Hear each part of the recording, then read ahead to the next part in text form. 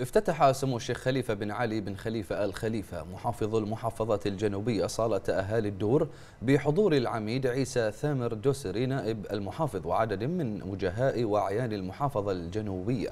وفي مستهل اللقاء أشاد سمو المحافظ بما يحظى به القطاع الخدمي والاجتماعي والتنموي برعاية كريمة من لدن عاهل البلاد المفدى حفظه الله ورعاه ومتابعة سمو ولي العهد رئيس مجلس الوزراء حفظه الله.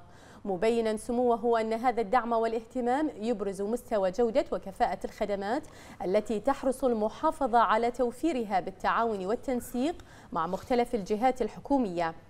وأكد سموه أن المحافظة حرصت على متابعة احتياجات المواطنين عن قرب من خلال الزيارات الميدانية والتواصل المباشر منوها بالاهتمام البالغ الذي توليه المحافظة في تحقيق كل ما يتماشى مع رؤى وتطلعات المواطنين في منطقة الدور وباقي مناطق المحافظة بصورة عامة. وخلال الحفل كرم سمو محافظ الجنوبية الجهات المساهمة في إنشاء صالة أهالي الدور. اليوم إحنا أهالي الدور نشوفهم كلهم فرحانين ومستانسين ولله الحمد. وهذه آه، يعني سمه حكومتنا الرشيدة الله يحفظها ويبارك فيها. آه، تفرح الناس يعني تجهز لهم الأمور والوسائل اللي يتواصلون فيها بكل أمانة.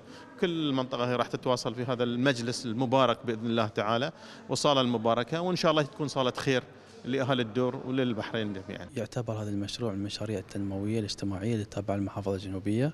بتنفيذ من وزارة الأشغال والشؤون البلدية والتخطيط العمراني وبإشراف من آه، إدارة الأوقاف السنية. ويعتبر هذا المشروع من ثمرات عام 2021 من المشاريع اللي تم إنجازها. آه، ونشهد إن شاء الله نطلع العام القادم لافتتاح أيضا مزيد من المشاريع. إحنا حقيقة سعيدين اليوم يعني بالافتتاح. ولا أنسى جهود بعد المحافظ.